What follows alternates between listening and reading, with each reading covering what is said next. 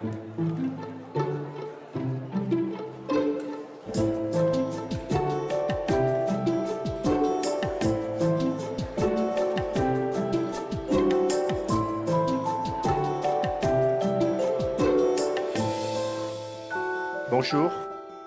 Je veux dire, le plaisir que j'ai de participer à cette réunion d'hommage à Gaston Revel et euh, tout particulièrement sur les années qui ont suivi la fin de la guerre, les deux années qui ont suivi la fin de la guerre, avec des survivants qui étaient maintenus dans, des lieux qui avaient été des lieux d'incarcération, euh, qu'on appelle les, DP, les personnes déplacées.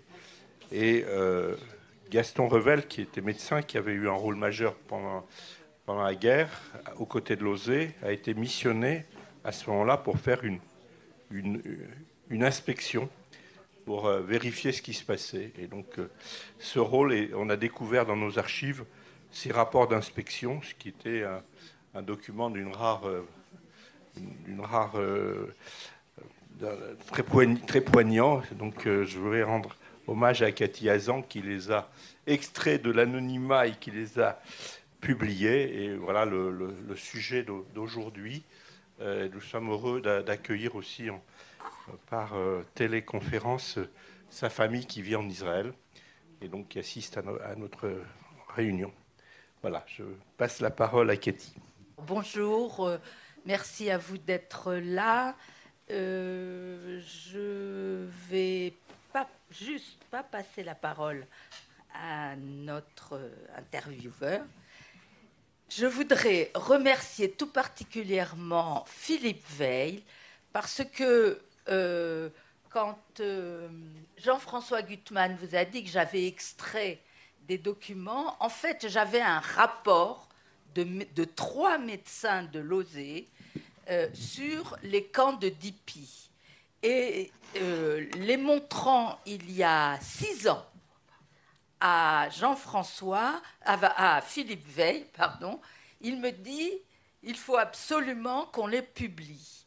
Et moi, j'étais un petit peu hésitante parce que c'est quand même des, documents assez ardus. Et puis, euh, il y a quatre ans de cela, à un colloque de Brive, je fais la connaissance de euh, Daniel Revel qui me dit avoir les mémoires de son père. Et là, ben, tout, tout se mettait en, en, lien. Et je remercie aussi les enfants Revel de leur patience, de leur gentillesse et du fait qu'ils m'ont confié les mémoires de leur père pour euh, faire ce livre qui mélange plusieurs sortes de témoignages je passe la parole à Monsieur Levkovitch. Eh bien, merci beaucoup. Alors, pour cette troisième et dernière table ronde de l'après-midi, vous l'aurez compris, hein, on va parler donc euh, d'un texte qui s'intitule euh, Et au fond de tes blessures, je te guérirai, un médecin de l'OSE, de la résistance en France au camp de personnes déplacées en Allemagne. Un texte rédigé donc par le docteur euh, Gaston Revel, aujourd'hui hélas disparu, présenté et donc annoté par vos soins, Cathy Hazan. Vous êtes historienne, responsable du service des archives de l'histoire euh, et, histoire euh, euh, de l'OSE. et puis, donc ce texte a été publié aux éditions Le Manuscrit en 2022 dans la collection Témoignages de la Shoah. Et avec nous également Antoine Dauer. Bonjour, vous êtes documentariste, auteur, réalisateur. et nous allons parler avec vous donc de ces, camps de, de ces camps de personnes déplacées. Euh, alors la particularité du témoignage de Gaston Revel, c'est qu'il est rédigé au moment euh, des faits qu'il décrit, euh, comme des archives du temps présent. On en parlait déjà tout à l'heure. Gaston Revel est, un médecin juif alsacien, né en 1901. En 1940, après s'être engagé il, est, démobilisé et s'engage aux côtés de Lozé, puis entre dans la résistance pour le compte de l'armée secrète et devient médecin dans le, le maquis du Grésivaudan. En 1945, il répond à, deux missions euh, de l'OSE. euh, euh, dans les camps de personnes déplacées, d'abord à Buchenwald, d'où il doit sortir des adolescents rescapés, et puis ensuite à, Neustadt, sur les rives de la Baltique, en zone d'occupation britannique, où il doit faire, il doit établir donc un, diagnostic de l'état sanitaire des Juifs présents sur place. Il y décrit une situation épouvantable, celle de, de parias devenus des apatrides dont personne ne veut. Alors, si j'ai bien compris, nous sommes en, visio avec euh, Elisabeth et, Daniel Revel, euh, fils et belle-fille de Gaston Revel. Vous m'entendez? Ah, ça marche pas eh ben d'accord. Eh ben on les aura donc euh, tout à l'heure. Alors euh, Cathy Azan, sans doute euh, faut-il expliquer le titre même de l'ouvrage et du fond de tes blessures, je te guérirai? Je pense que vraiment ce titre qui a été proposé par les enfants Revel et, correspond tout à fait à ce qui est dans ce livre. Ce livre est un cri de détresse et un cri de détresse de des médecins euh, qui euh, sont allés dans ces camps de personnes déplacées, mais aussi un cri de détresse concernant les, personnes déplacées eux-mêmes. C'est-à-dire que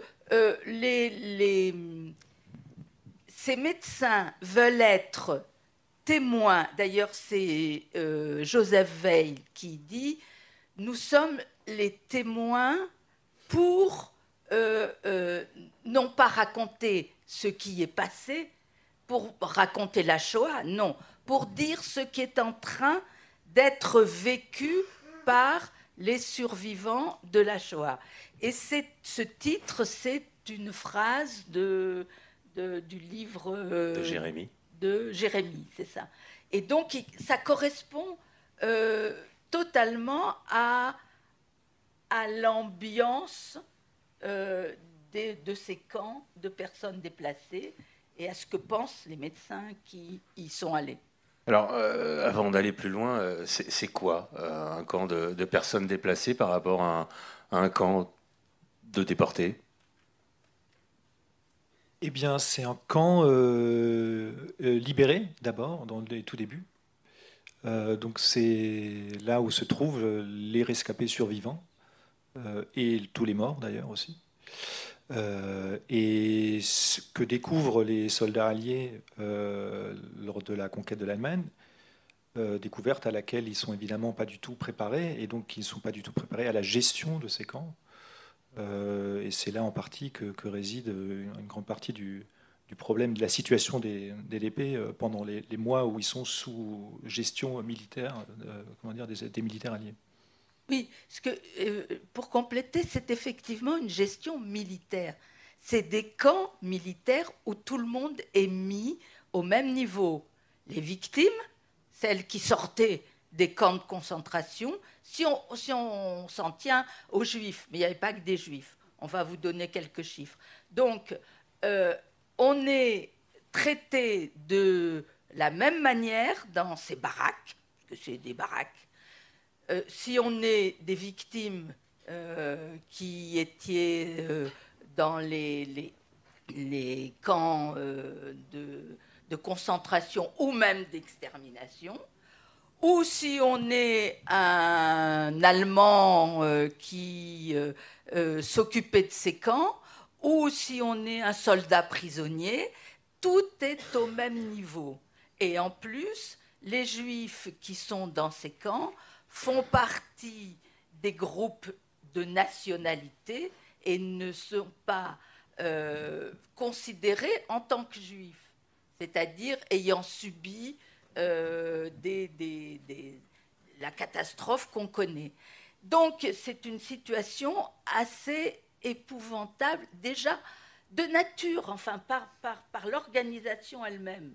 Effectivement, euh, il faut savoir que, que les rescapés juifs forment une, toute petite minorité euh, de ce qu'on appelle les, personnes déplacées, puisque en, Allemagne, euh, en 1945, en mai 1945, se trouvent des millions de personnes, de travailleurs forcés venus des pays de l'Est, de travailleurs volontaires. Donc toute toute une variété de populations, effectivement, parmi lesquelles, parmi laquelle, au sein de laquelle les, rescapés de la Shoah sont une toute petite minorité. Et justement, il y aura tout un travail pour se faire reconnaître un, statut spécifique parce qu'une une situation spécifique. Alors, avant d'aller un peu plus loin, euh, je voudrais revenir sur euh, justement la façon dont vous avez travaillé, euh, Cathy Azan, parce que j'imagine que la réunion de, tous ces textes qui, composent cet ouvrage, les témoignages de ces trois médecins, donc ceux de Joseph Veil, du docteur Anderson et, de Gaston Revel, c'est déjà des documents que vous avez eu du mal à.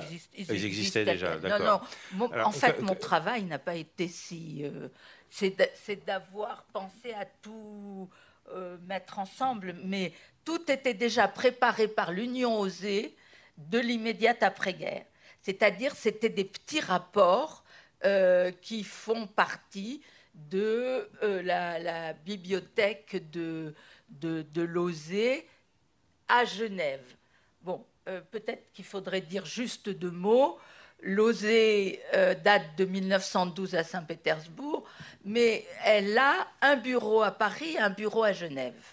Donc c'est fondamental pour euh, la période de la guerre. Et en plus, elle euh, euh, a des liens particuliers avec le bailleur de fonds, c'est-à-dire avec le joint. Et si je vous fais un tout petit peu la généalogie de ce qui s'est passé dans ces camps, il y a eu en 45, le mois, peut-être tu peux me le dire, le rapport Harrison. C'était août.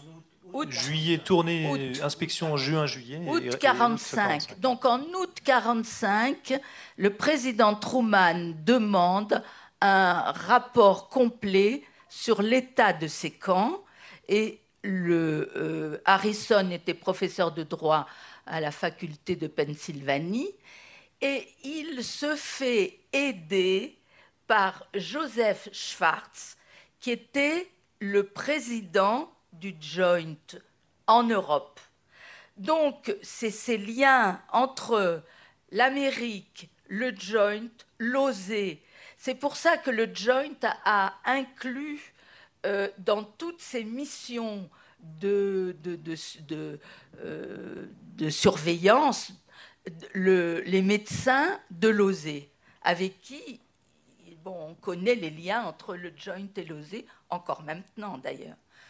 Euh, donc je voulais dire que le rapport Harrison va euh, sonner l'alarme en expliquant que ça ne va pas, qu'il y a euh, de l'antisémitisme dans toutes, les,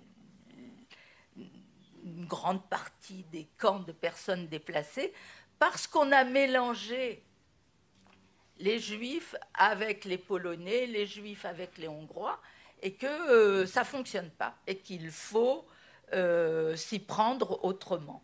Est-ce que il a des mots très durs. Hein. Il dit euh, visiblement, nous traitons les juifs de la même façon que les nazis, à ceci près que nous ne les tuons pas. Voilà, euh, exactement. je paraphrase. Il se pose la question de savoir qui sont les vaincus. Et effectivement, il soulève euh, la, ça et, la, et la, gestion, la gestion militaire et la, et, la, et la nécessité de changer de point de vue, puisque en fait, c'est là où c'est un peu pervers, entre guillemets, c'est-à-dire que les, les, Alliés, par désir de refuser les théories euh, racistes, raciales, euh, antisémites, nazies, euh, ne souhaitent donc pas constituer des catégories selon ces, spécifiquement, par exemple, concernant les juifs, mais considèrent chacun selon sa nationalité. Et, alors, du côté britannique, c'est encore plus fort, étant donné que se, pose la question par rapport à la Palestine. mais du côté des États-Unis, c'est à ce moment-là qu'on que va prendre conscience qu'on ne peut pas euh, raisonner de cette façon un peu abstraite euh, euh, et qu'il faut considérer la réalité qui est que, ces personnes ont une situation spécifique et que donc ils, nécessitent une prise en charge spécifique. Et il faut savoir que l'Allemagne occupée est divisée en trois zones, elle est même divisée en quatre. la zone soviétique, c'est là où le chaos est le plus complet. Euh, la zone américaine, la zone anglaise et la zone française. La zone française est la plus petite, donc c'est un peu plus provincial, mais en même temps, ça a été une administration euh, épouvantable, ce qui fait qu'on a enlevé euh, l'administration de certains camps de la zone française pour la mettre dans la zone américaine. Donc vous voyez, c'est le chaos complet, le manque d'organisation, le manque de moyens, et puis quelque chose de, euh, qui ressort de ces, documents, et c'est ça qui est poignant, c'est pas seulement un manque de moyens, c'est les juifs, c'est des emmerdeurs. En gros, c'est ça. Alors avant de poursuivre sur cette idée que les juifs euh, sont des emmerdeurs, euh, je reviens au, texte lui-même, euh, et puisque la thématique un peu de, notre rencontre d'aujourd'hui, c'est aussi le témoignage. alors là, on est aux premières loges, c'est un témoignage direct, on a l'impression d'y être, et c'est vrai que le texte est fort parce que Gaston, Gaston Revel nous livre une sorte de, témoignage cinématographique. On a l'impression d'y être. C'est ça qui est fort dans, dans ce récit euh, Dans les, lettres qu'il envoie à sa femme lorsqu'il est à Neustadt. Donc, il, euh, il était. C'est sa deuxième mission. Hein. C'est là que les lettres sont les plus poignantes. Parce qu'il est dans un, dans un camp de personnes déplacées. Alors qu'à Buchenwald, il est allé chercher des jeunes pour les amener euh, en France et, en Suisse. Il est accompagné d'une assistante sociale euh, de Lozé qui a été une grande résistante pendant la guerre, qui est Fanny Louinger, euh, qui, a travaillé avec Georges Garel dans le, dans le circuit Garel. Et donc, elle, alors là, il y a quelque chose auquel j'ai pensé cet après-midi là. C'est il y a le texte de euh, Fanny Loinger qui raconte ce qu'elle euh, a, fait à Buchenwald et il y a le texte de Gaston Revel sur la même chose, c'est-à-dire les enfants, les adolescents qu'ils vont sortir de Buchenwald avec l'autorisation de la Suisse, parce qu'eux sont partis pour aller chercher des enfants les plus malades et les amener en Suisse. Eh bien, dans les deux documents, on n'a pas les mêmes chiffres concernant ces enfants, parce qu'il y a eu un, un, un pataquès sur le nombre d'enfants qu'ils pouvaient sortir, parce qu'il faut des visas d'entrée dans les pays qui les acceptent. Donc, euh, c'était en l'occurrence la France qui était en train de négocier euh, l'arrivée des enfants et la Suisse qui, elle, n'a pas eu besoin de négocier l'arrivée parce que comme c'était des enfants malades, qui devaient aller dans des sanatoriums, eh bien, c'est l'OSE suisse qui allait s'en charger. Mais est-ce que c'est 120, 350 Eh bien, on a des chiffres différents suivant des, personnes qui ont vécu la même chose. Malgré ça, ça reste quand même un témoignage euh, intéressant. Ah, euh, en, présentation de l'après-midi, je disais, voilà, il y a la grande histoire et puis il y a les histoires individuelles qui viennent, euh, tous ces interstices qui viennent remplir, nuancer, documenter la grande histoire. Ben, là, on y est, on y est totalement. on est, on est dans cette espèce de, documentation de la, de la grande histoire, malgré les biais euh, dans les chiffres. Mais Finalement, c'est pas très grave. Je trouve que c'est intéressant parce que ça permet de dire voilà, ce que les gens ont vécu, voilà ce qu'ils ont ressenti, voilà ce qu'ils nous, nous, nous disent. Et puis c'est à l'historien de faire le travail de d'aller creuser ailleurs pour dire bon bah c'est lequel qui a raison C'est celui qui dit 370 ou c'est celui qui dit 120 et qui voilà. Et euh, alors même chose pour les photos que vous présentez dans le livre, puisqu'on présente euh, justement des têtes réduites, euh, des peaux avec des tatouages, des, des abat-jours en peau humaine. Ça, on sait que tout ça n'a jamais existé finalement. non, non, non. L'abat-jour en peau humaine n'a jamais existé. les têtes réduites, on sait d'où elles viennent. Oui, les têtes réduites, on sait d'où elles viennent.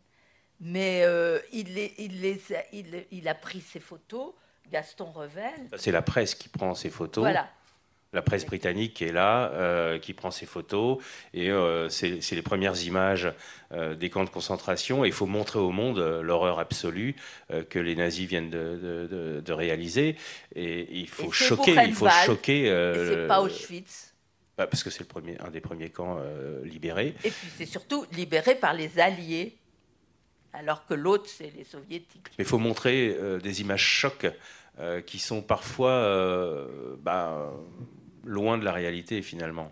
Oui, exactement. Et ça, c'est ce mélange-là, euh, parce que le, le, texte lui-même est, est, très fort. Et, euh, euh, mais il est très fort pour nous.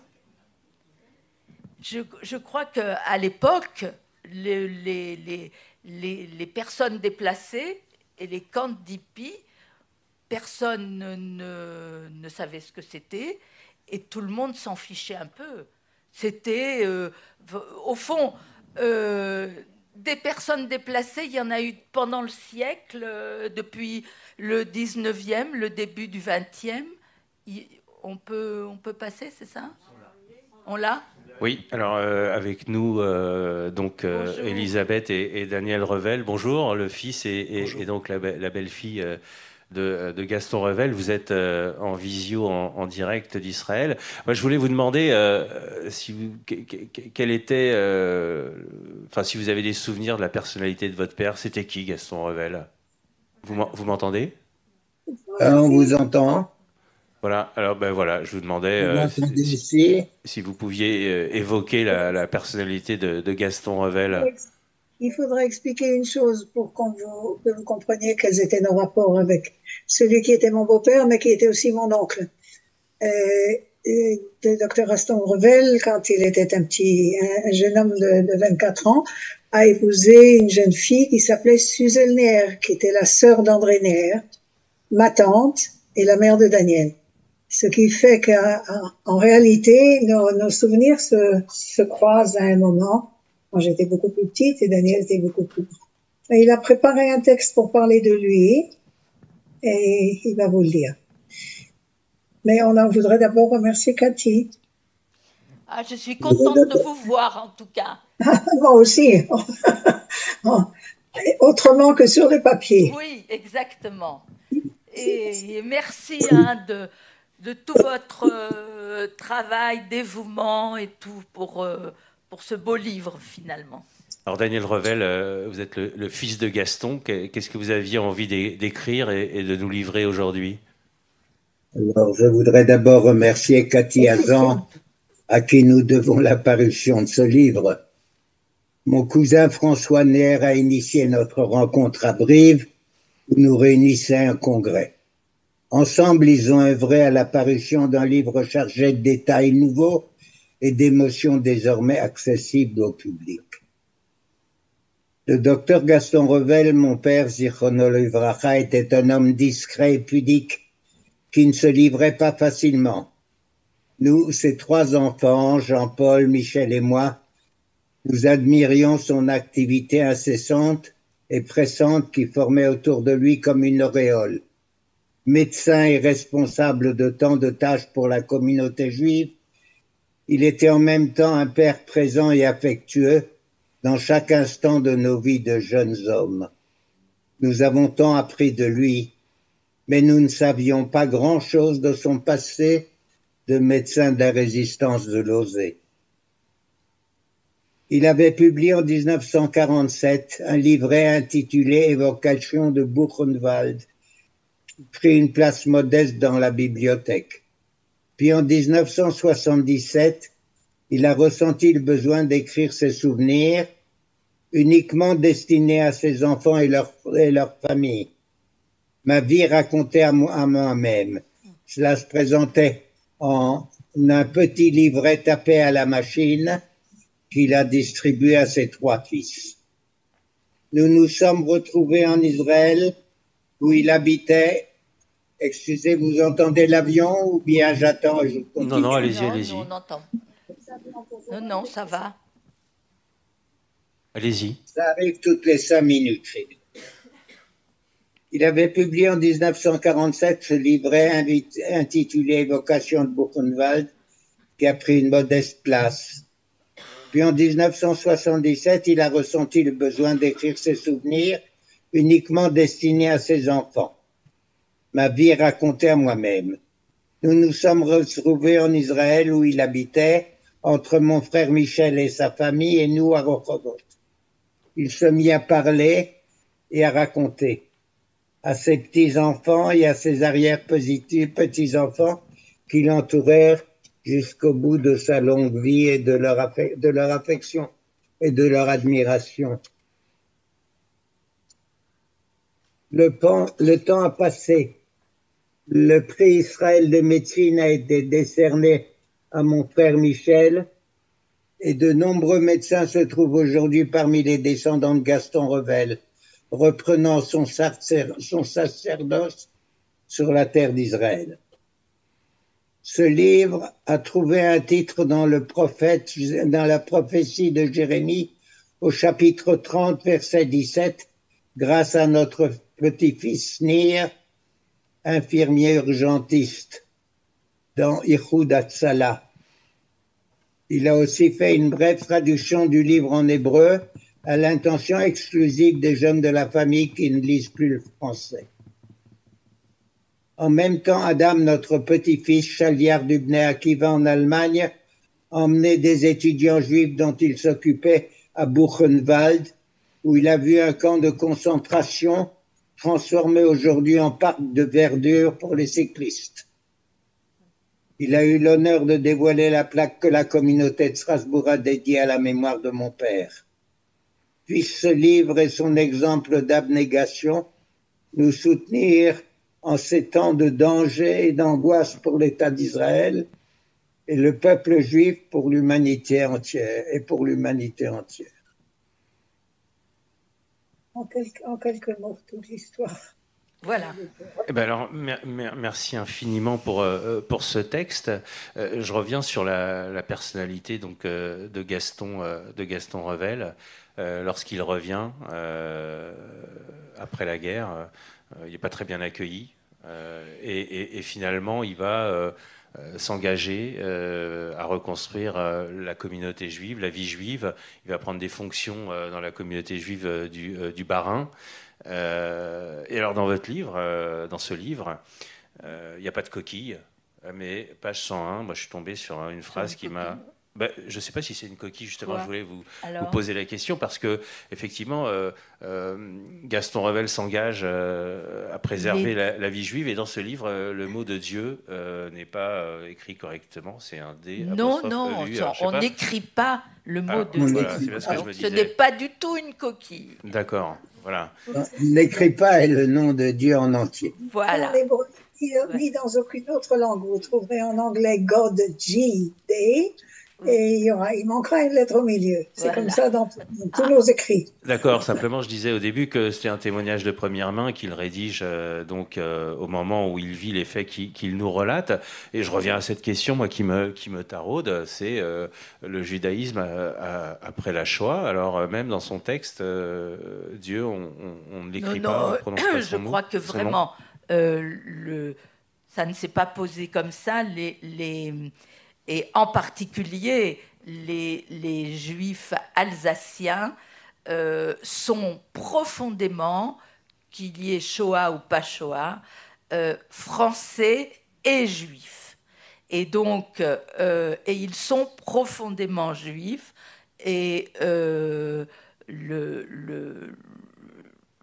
dans, dans ces, ces, trois familles, là, là, on parle de la famille Néer et de la famille euh, Revel. Il y a la famille Samuel aussi, qui, est dans Très bien, Très bien, les Samuel aussi. les Samuel aussi. Donc, euh, on, est, on est typiquement dans le, le, le, judaïsme euh, français et il n'y a pas de, de il n'y a pas de scission. Il n'y a, pas de scission il n'y a pas de scission entre les deux. c'est reconstruire le judaïsme. Et, d'ailleurs, le, le, travail de Lozé après la guerre a été de euh, redonner euh, le, la fierté aux enfants d'être juifs. Alors ensuite, qu'est-ce que c'est être juif? Eh bien, il y a toute la palette du judaïsme, du plus laïque au plus religieux, euh, avec toutes les...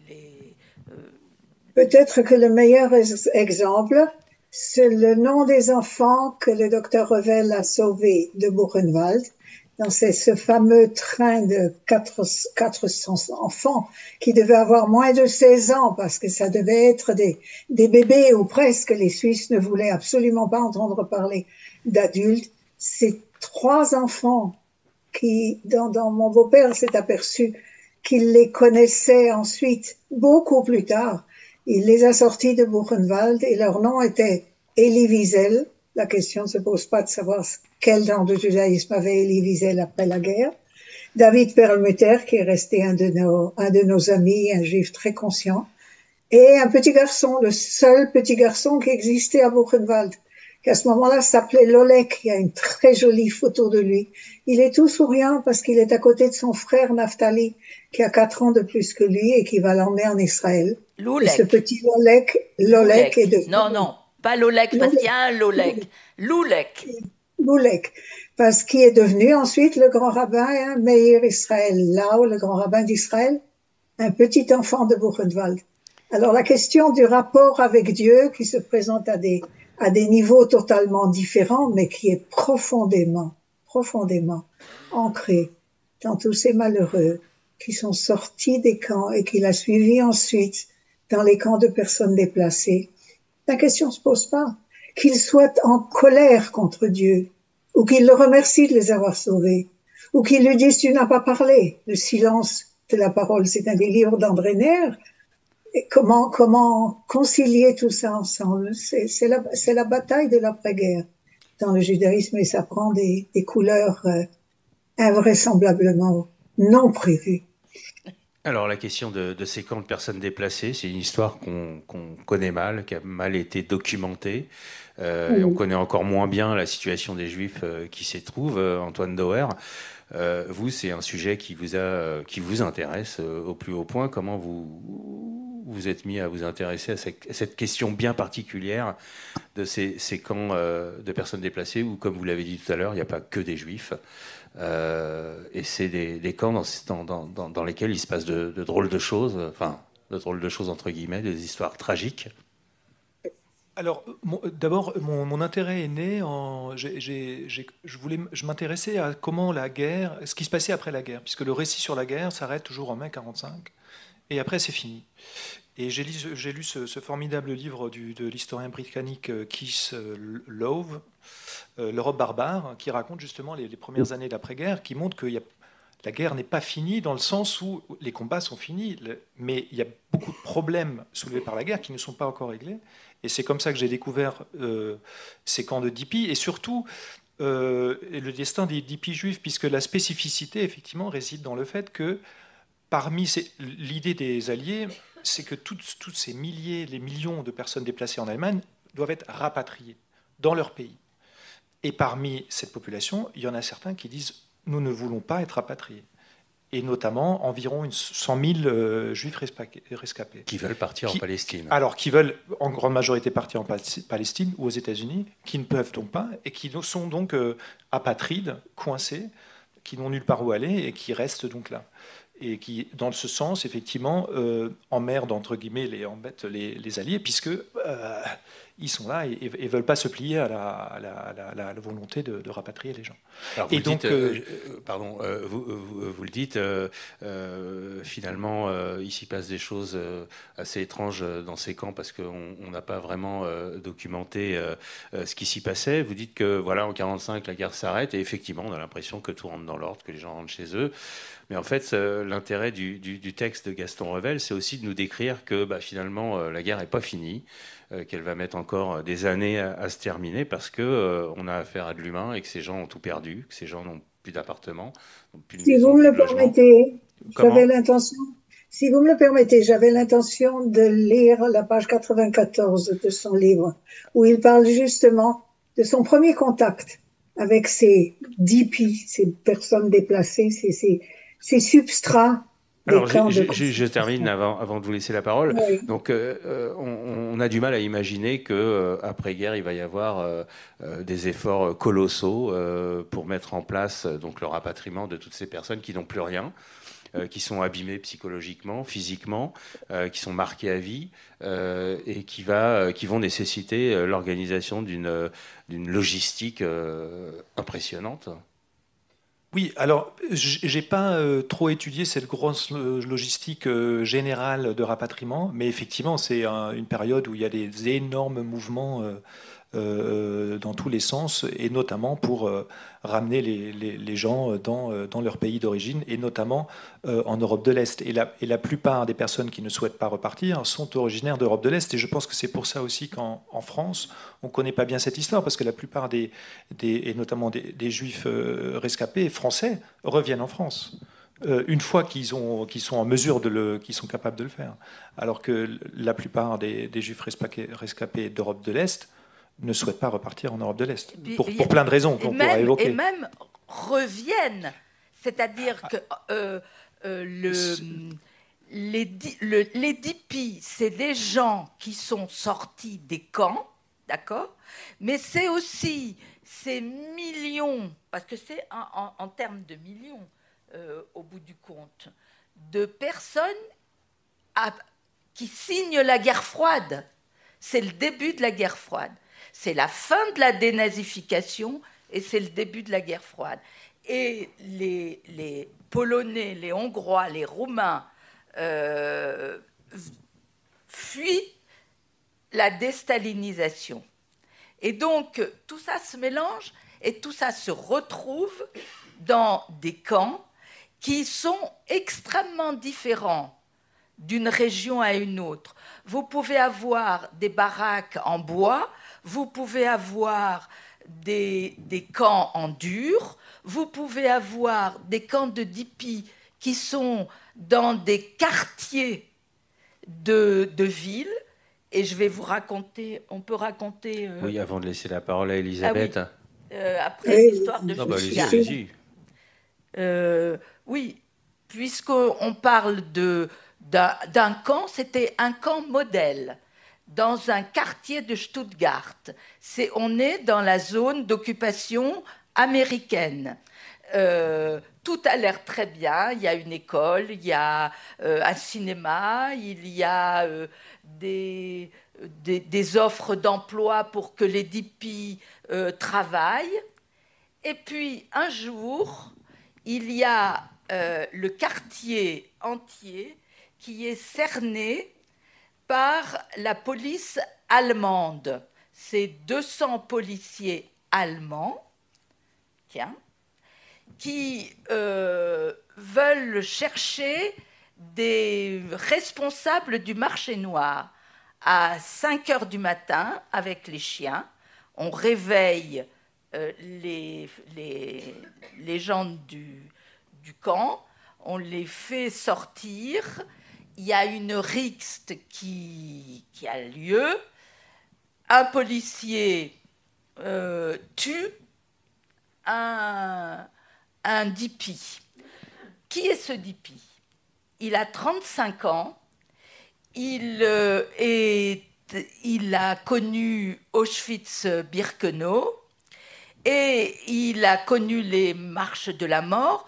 Il est arrivé en France et en France, a su que sa femme Et ses deux enfants, ainsi que sa belle-mère, avaient survécu. Donc, il repart de France et il vient à Stuttgart pour récupérer enfin sa famille. Et il se bagarre et il se fait tuer. Euh, son, son, petit garçon, il est très connu parce que il est dans une photo qui a fait le tour du monde d'enfants euh, qui montrent leur, euh, leur poignet avec euh, leur, euh, leur, Leur numéro. numéro. C'est le petit Marek. Et donc, voilà une famille qui devait se reconstituer, qui a survécu miraculeusement à, à- à- à Auschwitz-Birkenau. Et euh, y a ce, parce que ça devient un fait divers, finalement, euh, les, Américains sont embêtés parce que, en fait, ils ont donné par procuration toute la police du camp à, ben, aux gens du pays, c'est-à-dire aux Allemands. Et euh, alors, qu'est-ce qu'ils font? Ils vont donner des visas pour la Palestine à la famille pour les éloigner. Le, monsieur Danzinger, il s'appelle. Samuel Danzinger est euh, euh, enterré au cimetière de Stuttgart et on se débarrasse de la famille en la faisant partir euh, le plus loin possible. Bon, en fait, ils vont revenir, peu importe. Et il n'y aura pas de procès ni rien du tout. Voilà, c'est un fait divers comme un autre.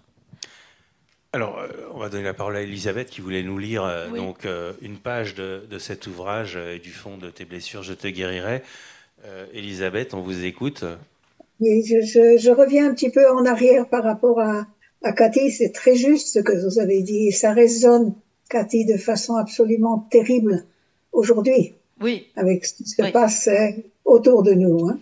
Mais un petit peu avant ça, quand euh, euh, mon beau-père arrive à, à Buchenwald, et puis il arrivera la même chose quand il arrivera à Neustadt, on lui demande de parler. On réunit autour de lui, dans un grand hangar, tout ce qui peut encore bouger, se traîner, peut-être écouter. Et il écrit, pourquoi parler quand on peut agir? N'est-ce pas cacher son inaptitude à régler les problèmes? Ces pauvres avaient souffert dans le camp. Ils avaient été libérés. Mais, mais ils étaient toujours enfermés dans un enclos comme des moutons. Ils voulaient sortir, savoir où aller. Ils voulaient errer, chercher, chercher les traces de leur, de leur femme, de leur mari, de leur père, de leur mère, de leurs enfants. Mais chercher où en particulier? Il fallait leur parler, c'est vrai, et ça n'était pas facile. Mais il fallait leur dire que nous étions venus les regarder comme des bêtes curieuses, comme des gens d'un autre monde, que nous n'avions aucun moyen de les aider en ce moment, que nous étions venus faire une sélection, encore une sélection, comme si Hitler n'en avait pas fait, que nous voulions des enfants, leurs enfants. Ils étaient tous des enfants, même les vieux, des enfants orphelins, sans parents, sans patrie, sans avenir, que nous organiserions des convois, que nous trouverions des pays qui voudraient les adopter, que nous soignerions leurs malades, que nous leur rendrions fous d'eux-mêmes et l'envie de vivre. Nous étions si pauvres en face d'eux. Ils étaient les accusateurs et nous les accusés. Les discours n'y changeraient rien. Je crois que ce texte est peut-être le, plus beau de tout ce que Gaston Revel avait à apprendre au monde et le choc de ce contact avec ce qui se passe là, cette seconde où le monde est libéré. Il était le premier médecin juif qui est entré à Buchenwald. Il était dans le- l'euphorie de la libération et c'est cela qu'il écrit. Et c'est ce qui nous fait comprendre ce que c'était que les pauvres gens qui étaient devenus, hein, c'est très joli avec l'anglais, des DP et tout ce qu'on veut, c'était peut-être plus des êtres humains. Alors, merci beaucoup, Elisabeth. Et avant de, passer la parole à Antoine Dauer, il y a une réaction dans le public, déjà, un monsieur qui souhaiterait vous réagir à, ce que, au texte que vous venez de, nous livrer. D'abord, je salue Elisabeth et Daniel. C'est Francis Nair. On est vraiment en famille. Hein en famille. Elisabeth et Daniel, je suis ravi de vous voir, enfin. Shalom, shalom. Shalom, shalom. Je voulais dire qu'on ne ressort pas oui, face à vous. Je voulais vous dire qu'on ne ressort pas indemne de ce livre. Que ce soit le convoi vers la Suisse et la France des enfants de Buchenwald, avec même une arrestation. C'est un vrai thriller. Euh, Gaston Revel est arrêté par les Suisses, encadré par la Croix-Rouge. D'accord, mais la caméra est là-haut. Oui, bonjour. Oui, donc euh, effectivement, il est arrêté à, à Bâle, au buffet de la gare. Des choses invraisemblables en 1945. Que ce soit alors donc, un, le convoi vers Buchenwald, vers de Buchenwald vers la Suisse, oui, volontiers. Deuxièmement, que ce soit le rapport sur le camp déplacé à Neustadt. Avant le rapport Harrison, dont vous avez parlé à plusieurs reprises, qui a été envoyé au président Truman, Gaston Revel est le premier médecin juif, et le premier médecin juif à être entré dans ces camps. Il dénonce les conditions de vie des juifs. Alors, ils sont peut-être pas majoritaires, vous l'avez dit, mais en tout cas, ils sont maltraités, ils sont victimes de sévices, victimes de maltraitance de la part des nazis réfugiés dans ces camps, où ils bénéficient encore de privilèges. On voit les nazis qui défilent avec leur uniforme, que ce soit des Allemands, des Lettons, etc., etc., et qui maltraitent. J'ai du mal. Hein. C'est pas naturel, bon et qui maltraitent les, les, juifs. La seule différence par rapport à Auschwitz, c'est effectivement qu'on ne les envoie pas dans les chambres à gaz. Et je rappelle que nous sommes en août 1945, c'est-à-dire quatre mois après la fin de la guerre. Alors, ma question, c'est qu'a-t-on fait de ces rapports? Vous avez dit que ça n'intéressait pas grand monde, effectivement, et que vous étiez, qu'il y avait peu de gens, vous en avez cité quelques-uns, et vous-même un, un, grand connaisseur de ces camps. Et donc je me tourne vers Lozé. Qu'a-t-on fait de ces rapports Neustadt-Bergelbenzen Comment se fait-il que nous n'en parlons pas alors que Lozé a joué un rôle historique? Et là, je me tourne vers le président et vers l'historienne de Lozé. Bah, euh, on en parle là, on en parle aujourd'hui, mais je suis à Lozé. Je suis à Lozé depuis 15 ans, 20 ans, j'en ai pas souvent entendu parler. Alors j'ai des explications, Cathy, j'ai des explications. En 1945, il est indiqué que le Congrès juif mondial est intervenu. Vous l'avez cité d'ailleurs, à Genève. Qu'en furent les, conséquences? Et pourquoi à cette, époque, à cette époque et jusqu'à nos jours ce silence? Alors une des hypothèses, c'est peut-être parce que les Anglais et les Américains et certains autres alliés ont laissé faire, voire participer. Et vous citez dans ce, dans ce livre un passage du rapport, ou je l'ai lu ailleurs, un passage du rapport Harrison qui évoque l'attitude du, du général Patton, Patton, qui demande des camps de des camps déplacés, mais sans juifs. Il ne veut que des Polonais pas juifs. Alors il est un peu remis à sa place, mais pas tout à fait, par Eisenhower et par euh, le président Truman. En tout cas, je me sens, par euh, méconnaissance et absence de recherche, un peu comme complice de ce silence. C'est pourquoi je remercie Daniel et Elisabeth, Michel et toute la famille d'avoir contribué par le travail effectué sur les écrits laissés par Gaston Revel à rappeler ces blessures qui resteront gravées dans nos mémoires. Merci à Cathy. Là, je ne peux pas te remercier, Cathy, parce que c'est entre deux lignes. De n'avoir pas hésité dès sa rencontre avec Brive, à Brive-la-Gaillarde, puisqu'effectivement, Daniel et Elisabeth nous m'ont dit qu'ils avaient des documents et tu étais à 200 mètres. Donc j'ai couru pour t'alerter et le lien a été fait. Je m'en félicite encore quelques années après puisqu'on a abouti à un document d'une grande qualité qui comble des années de, de silence. Merci donc à Cathy qui n'a pas hésité dès sa rencontre à Brive avec Daniel et Elisabeth d'accepter de se lancer dans ce travail qui a permis l'édition de ce livre qui vous est présenté aujourd'hui. Merci à tous. Alors, un, mot, Cathy Hazan, avant de passer la parole à Antoine Dauer. Euh, le, le, rapport n'était pas sorti des archives.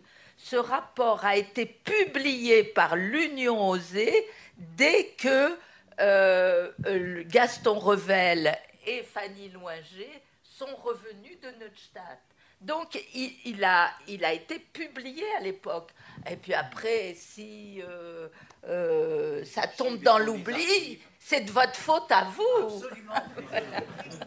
Alors, voilà. Alors, on ne va pas vous flageller plus, plus, que ça. Euh, Antoine Dauer, vous vous intéressez très vite au témoignage direct de ces euh, DP et vous développez l'idée que dans ces camps de personnes déplacées, il y a une certaine ambivalence. C'est quoi cette ambivalence que vous notez donc à travers les témoignages de ces, de ces DP L'ambivalence, c'est que effectivement, évidemment, tous ces gens veulent partir. Ils sont pas là, euh, ils sont là contre leur gré et, n'attendent qu'une chose, c'est de pouvoir partir. Euh, les conditions vont en effet beaucoup changer après le rapport Harrison, donc euh, ça, va avoir tout à fait un, impact très très important. Et donc la, vie s'installe dans la durée. Euh, rétrospectivement, ça paraît rien, mais à ce moment-là, on ne sait pas que dans trois ans, il y aura un État d'Israël. Euh, rien ne, présage d'une solution euh, politique à ce niveau-là. donc c'est en même temps très difficile parce que certes, on met en place beaucoup de choses pour de la formation, etc. Mais il y a, une, il y a un désœuvrement tragique qui, règne dans la, plupart du temps dans, dans ces lieux. Et en même temps, donc moi j'ai d'abord imaginé que effectivement ce n'était que souffrance et, détresse, et très vite on se rend compte que ben, en même temps ce sont aussi des lieux où on peut doucement reprendre le chemin de la vie euh, parmi les siens, euh, avec des gens qui comprennent ce, qu'ils ont vécu. Euh, et donc ce sont aussi dans les souvenirs, et notamment alors beaucoup pour les jeunes, des lieux euh, où il y a aussi des souvenirs heureux, ou en tout cas des souvenirs, euh, voilà, ce sont des lieux aussi de reconstruction. Et c'est en ça que j'ai trouvé ça intéressant, que ce, n'est pas juste une, une, parenthèse malheureuse, mais aussi un, sas et, une période de, de, reconstruction. En tout cas, de, des mariages, des naissances, des, la vie, quoi. et d'ailleurs, dans le petit, le petit film qu'il a qu'il a prévu. Alors justement, euh, je vais en parler de ce, petit film. Avant de nous quitter, j'aimerais qu'on regarde justement euh, euh, ce petit film de 5 minutes que, que, vous nous avez rapporté, un film produit en 1946 par le Comité des Juifs libérés, intitulé Desire the People, qui nous renseigne de façon assez précise donc, sur les conditions d'existence de CDP et je voulais qu'on termine cette discussion en, voyant ces quelques images. Présentez-nous ces images, Antoine. oui, peut-être deux mots. Euh, ce, film euh, est donc produit en, janvier 46. Euh, effectivement, comme il est inscrit à l'écran par le comité, le comité des Juifs libérés, il est largement initié par un aumônier, un rabbin aumônier de l'armée américaine, Abraham Klausner qui, euh, qui est lui à, libérer Dachau avec l'armée, et qui euh, s'investit énormément pour justement faire connaître euh, le, sort des DP. Et dans ce film, on, retrouve voilà, énormément d'éléments. Alors, il, dure 18 minutes à l'origine, je l'ai ramené à environ 5 minutes, mais on y retrouve énormément d'éléments euh, qui est d'une part le, rôle de l'auto-organisation, qui est très importante, de la conquête en fait d'une identité vis-à-vis de l'extérieur euh, euh, des, des, rescapés juifs. De, du rôle que jouent les, les, émissaires de Palestine. On y verra Ben Gourion, qui d'ailleurs a un rapport très ambivalent en fait avec les, avec les, lui aussi avec les, avec les DP, parce que euh, ce sont de, manière. Euh, ils sont évidemment une ressource politique pour attirer euh, l'attention sur la nécessité d'une solution politique en Palestine. On, favorise l'émigration clandestine pour justement entretenir le problème entre guillemets ou attirer la... et en même temps on a des grandes réserves vis-à-vis -vis de ces personnes qu'on Ben Gurion dira en 49 Parmi les rescapés des camps allemands, il y en a qui n'auraient pas survécu s'ils n'avaient pas été ce qu'ils étaient, durs, mesquins, égoïstes. Ce qu'ils ont vécu a effacé ce qu'il y avait encore de bon en eux. Donc c'est pour dire que, que cette, ces DP, plus généralement, sont, voilà, sont regardés avec un regard euh, méfiance, euh, un trouble, interrogation. Euh, voilà. et donc. Et donc la nécessité de, de, témoigner déjà à l'époque est, très forte, de témoigner. Alors on en a, on n'a pas eu l'occasion d'en parler. Comme une tâche sacrée.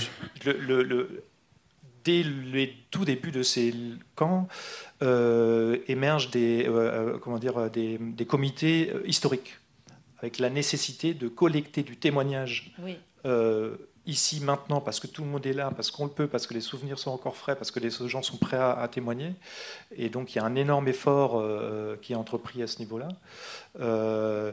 comme un devoir sacré vis-à-vis des morts, comme un un devoir euh, pour le présent, pour attirer l'attention de la, nécessité de, prendre en compte les, besoins de ces personnes, et comme un devoir euh, pour l'avenir.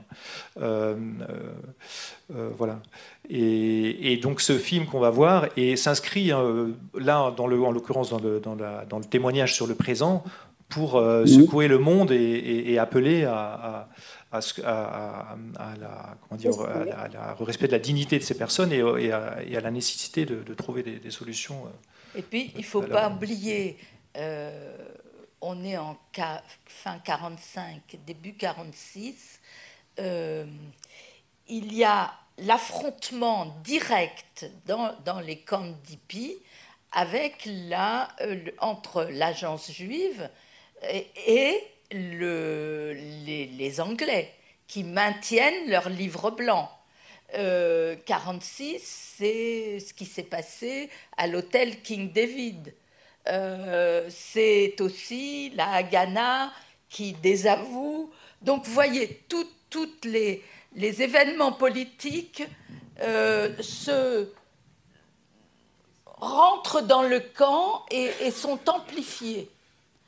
Donc, euh, c'est pour ça aussi que vous, verrez les, images. Oui, parce que juste avant de, projeter le film, il euh, faut savoir que euh, donc, tous ces camps restent ouverts jusque, jusque tardivement, jusqu'en 1953 et le dernier 57. Voilà. Alors, il faut préciser que 57, ce sont en fait les, derniers. oui, c'est le dernier, et parce que effectivement, un certain nombre de personnes ne sont, sont trop affaiblies en termes de santé. Donc, euh, donc ce ne sont plus les mêmes camps que ceux qu'on a libérés, ceux contre ceux où on veut améliorer les. Euh, ça s'appelle un camp de mais ce, sont des hospices pour les personnes qui ne sont pas du tout en mesure euh, d'aller en Palestine, notamment. donc effectivement, c'est. En tout cas, de, du groupe des. des Buchenwaldiens, parce que je vois Igio qui est là, deux d'entre eux qui sont venus en France, les deux frères Finkel, les Finkelstein, étaient partis en 49 d'une maison de Lozé sur euh, l'Exodus, étaient revenus en Allemagne dans un camp d'Hippie et ils racontent ça euh, dans, un texte qui est très beau que j'ai pas pu mettre. Euh. donc voilà, la, roue tourne. Ben alors je vous propose de voir ce film parce que l'heure tourne également. Macht Spaß.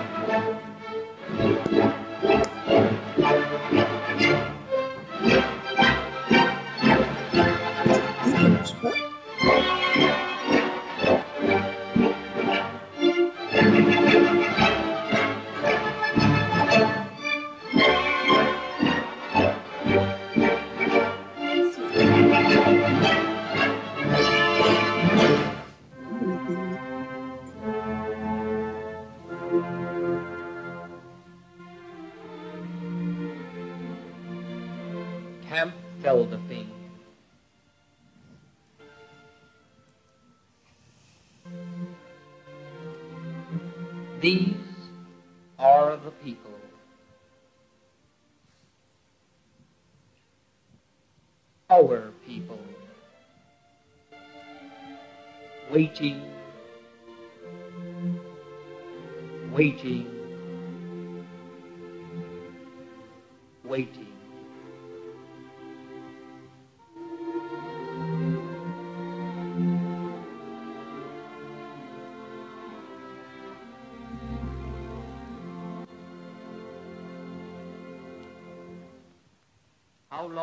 Tyranny hold fast the hopes and aspirations of a broken people?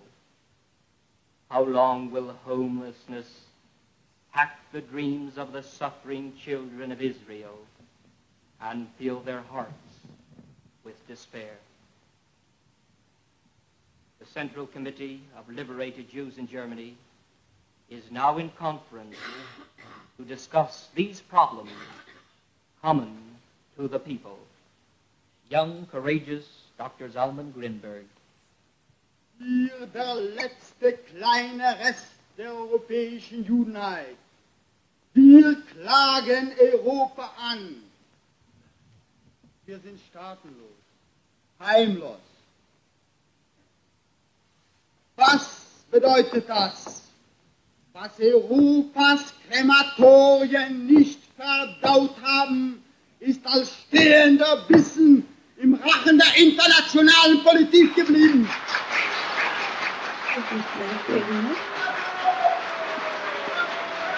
Büßt ein den Wechsel einer historischen Ungerechtigkeit, welche erst jüngst das Blut von sechs Millionen Menschen gekostet hat, und gibt uns zurück Eretz Israel.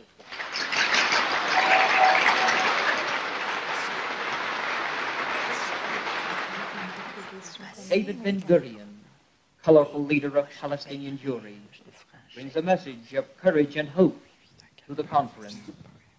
That it was the Jewish people who made Palestine. That was Palestine who made the Jewish people. The joint resolution. The United States Congress asking for freedom of Jewish immigration, which will result in a free and democratic Jewish Commonwealth in Palestine. We despair not, though our road stretches through an endless history. In the classroom with print and thought, in the workshop with hammer and lathe, on the field with sweat and brawn, and in the evening with song and dance. Our march to peace and freedom is begun.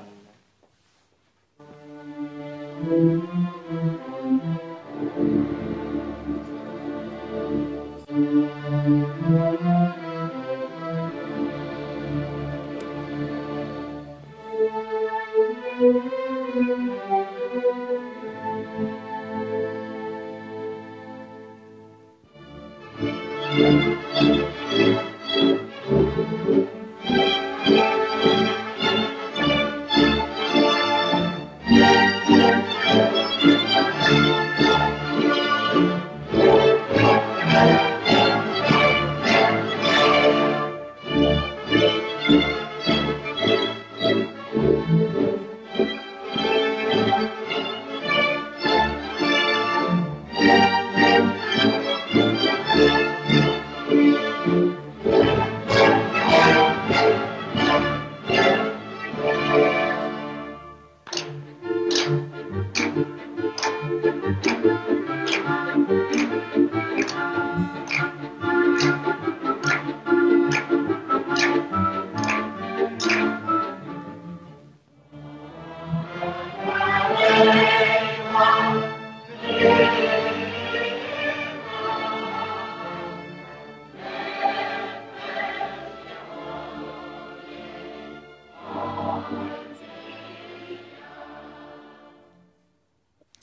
Il n'y avait pas de, de sous-titres, mais on n'a pas forcément besoin de, de sous-titres euh, pour cet extrait euh, euh, de film que vous avez, ce film de 5 minutes qui en fait en fait 18, qui date de 1946, euh, These Are the People.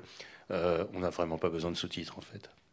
Oui, j'ai l'impression que euh, on comprend très bien de quoi il, de s'agit et tous les ingrédients euh, et, ce qui anime ce, film et, ceux, qui, ceux qui parlent dans ce film. Cathy Hazan pour. Non, je, juste dire qu'il a existé un kibbutz, le kibbutz Buchenwald. je ne sais pas si Ichio, tu, tu, as des choses à dire là-dessus? Non. Tu, mais tu, est-ce que tu savais que ça existait quand, oui, quand tu y étais? euh, Peut-être qu'on peut lui passer. Euh. Oui, puisqu'il nous reste cinq minutes, ça serait bien que le, public puisse euh, poser des questions. Mais en même temps, pendant qu'il y a, il faut, il, y a cette ambiguïté, ce, à chaque fois, dans, dans chacun des, des films, on le voit bien. C'est-à-dire, les Juifs veulent s'organiser, ils veulent être entre eux, ils veulent s'affirmer. Et puis, en même temps... Euh, ah non et, en même temps Et en même temps, euh, parce qu'on les voit très beaux, tous, euh, bien, bien nourris et tout, alors que c'était pas du tout, du tout, du tout dans la majorité des camps, c'était pas ça. ça, c'est les images qui trompent. C'est ça, c'est ça après les premiers mois. Et ces, ces, images, malgré tout, trompent, parce que d'une part, ce que décrivent d'autres médecins, euh, euh, c'est que malgré l'apparence normale, évidemment, les, séquelles euh, physiques sont, sont énormes, et, sans parler des séquelles psychologiques, psychiques. Et c'est ce que décrivent beaucoup de, de personnes qui viennent de l'extérieur, qu'il y a une ambiance très étrange parce qu'il y a une sorte d'activité. La, tuberculose, la dysenterie. Euh, euh, et puis, et puis euh, ce qu'on a vécu et ce qui est encore dans, tous les traumatismes. Et donc cet, activisme-là donne un, étrange sentiment de, on sent bien ce qu'il y a, ce qu'il a, ce qu'on voilà, qu'on ne voit pas évidemment. Oui, tout à fait. Alors, je crois qu'il y a une question dans. Je crois que ce qu'on voit et ce qui est très important, c'est que les choses évoluent dans la direction Israël. Ces, ces pauvres gens arrivent et ils apprennent des choses qu'ils n'ont, dont ils n'ont jamais entendu parler. Ils apprennent à s'occuper des vaches, ils apprennent, ils apprennent à distribuer du, du foin. Et, ils mangent. Vous avez vu la main qui se tend vers le sandwich et qui hésite, et c'est une main qui porte le numéro. Je crois que cette image-là dit, dit tout ce que ce film voulait dire.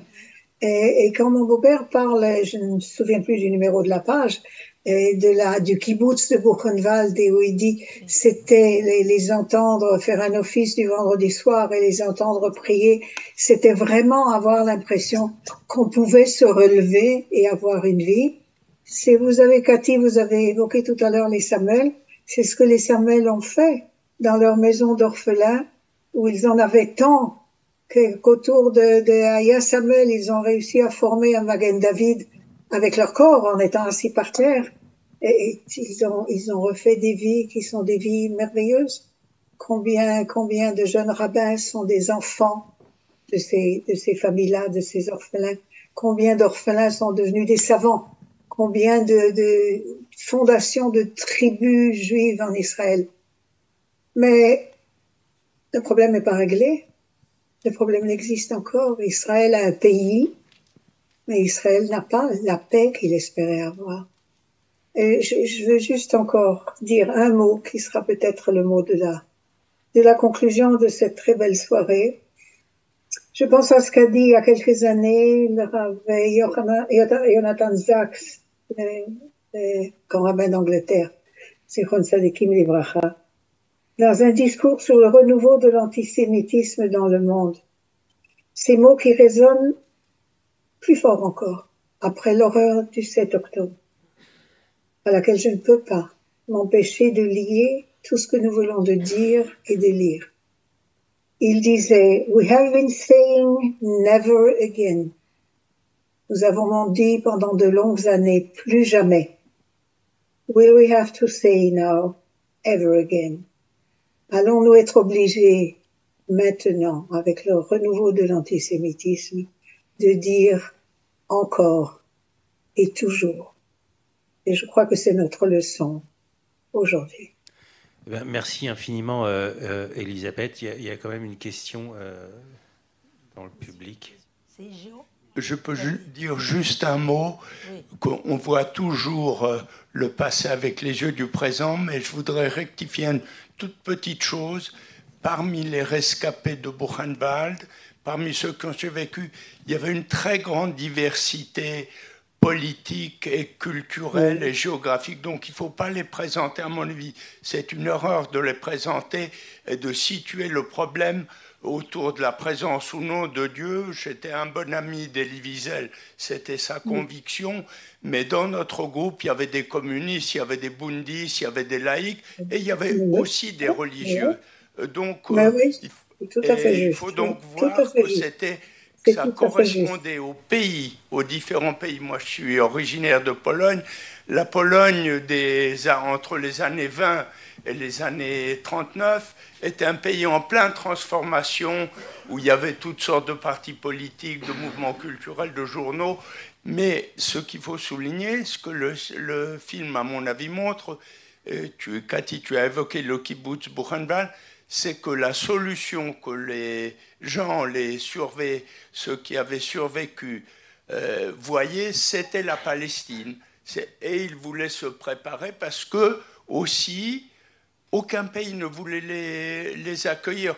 J'ai vu euh, hier euh, des morceaux d'un film sur la conférence d'Evian, dite la conférence de la honte, où 42 pays étaient représentés et zéro pays s'offrait à accueillir les juifs. Et c'était la même chose. Après la guerre, euh, il y avait très très peu. Les États-Unis avaient maintenu leur quota de 1929. Donc il faut se replonger dans la situation qu'il y avait avant Boula. Eh bien, euh, il me reste à vous remercier euh, toutes et tous. Merci à vous, Cathy Azan. Merci Antoine Dauer. Merci Elisabeth et Daniel euh, Revel en, direct euh, d'Israël et ainsi s'achève donc euh, cet après-midi euh, On espère qu'Antoine va sortir un film sur les camps d'Ypres. Ah oui, c'est vrai, j'ai oublié. C'est le, projet, donc on croise les doigts, un projet qu'on va soumettre à France Télévisions et qu'on espère qui, retiendra leur, leur, attention. Eh ben, on vous le souhaite. Merci infiniment en tout cas. Merci beaucoup. Merci.